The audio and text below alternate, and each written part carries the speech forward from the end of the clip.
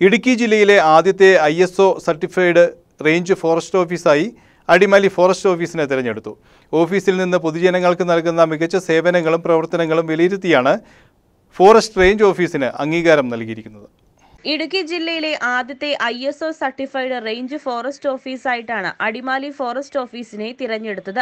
വനം വന്യജീവി സംരക്ഷണ പ്രവർത്തനങ്ങൾ ആദിവാസി വിഭാഗത്തിനായി നൽകിയ വിവിധ സേവനങ്ങൾ വനം കുറ്റകൃത്യം തടയുന്നതിനും കണ്ടുപിടിക്കുന്നതിനുമുള്ള മികവ് മണ്ണൊലിപ്പ് സംരക്ഷണ പ്രവർത്തനങ്ങൾ പ്രകൃതി സൗഹാർദ്ദ ഓഫീസ് മികച്ച അടിസ്ഥാന സൗകര്യം പൊതുജന സൗഹാർദ്ദ ഓഫീസ് എന്നിവയുടെ അടിസ്ഥാനത്തിലാണ് ഈ അംഗീകാരം നൽകിയിരിക്കുന്നത്.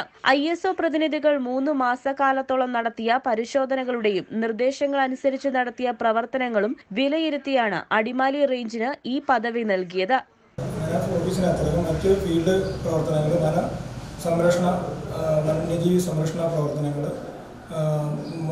മനുഷ്യ വന്യജീവി സംഘർഷം ലഘൂകരണം അങ്ങനെ തുടങ്ങി അന്വേഷണത്തിന്റെ കേസന്വേഷണത്തിലെ മികവ് കേസുകൾ കോടതിയിലെ ചാർജ് അങ്ങനെ ഉള്ള ഓഫീസിന്റെ ഒരു ആ,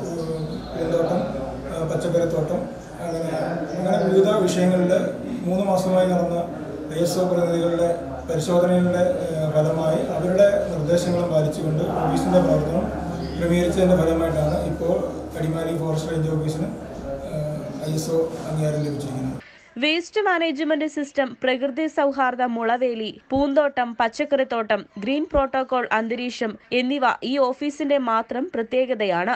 വനത്തോട് ചേർന്ന് കിടക്കുന്ന സ്ഥലങ്ങളിൽ വന്യജീവികളുടെ ആക്രമണം രൂക്ഷമാണ്. ഇതിനെ നേരിടാൻ ഇരുപത്തിനാല് മണിക്കൂറും പ്രവർത്തിക്കുന്ന റാപ്പിഡ് റെസ്പോൺസ് ടീമിന് ആദ്യമായി രൂപം നൽകിയത് ഈ റേഞ്ചിലാണ്. മൂന്നാർ ഡിവിഷണൽ ഫോറസ്റ്റ് ഓഫീസറായ Raju K Francis I range officer K V Ratheesh എന്നിവരുടെ മേൽനോട്ടത്തിലാണ് ഓഫീസിലെ പ്രവർത്തനങ്ങൾ നടക്കുന്നത്. News bureau Adimali.